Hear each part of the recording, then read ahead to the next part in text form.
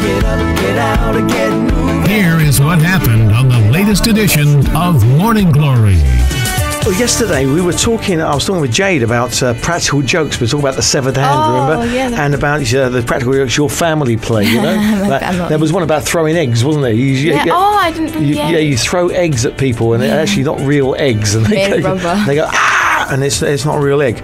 But a schoolgirl who's only nine years old has played a trick on Turkish customs as she went through the airport. Uh, she had a toy passport, Oh right, and it just identified her as a unicorn.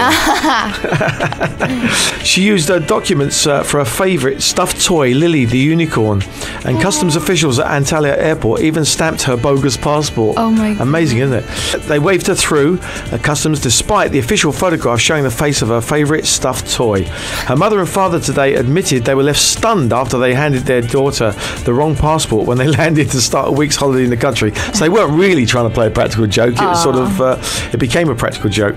Uh, the document that young Emily handed over was a Bear Factory passport for a unicorn toy called Lily Harris.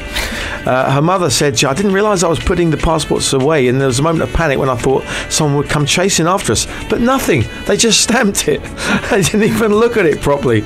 Uh, the passport doesn't even look real. It's got gold teddy bears on the front and was completely different size from mine and my husband's. The man even asked Emily how old she was, she told him nine before he stamped it. Now, how is she going to get out of the country because her passport hasn't Yeah. been stamped uh, that she's gone in? Oh, So yeah. that's, that's, that's worth thinking about, isn't it?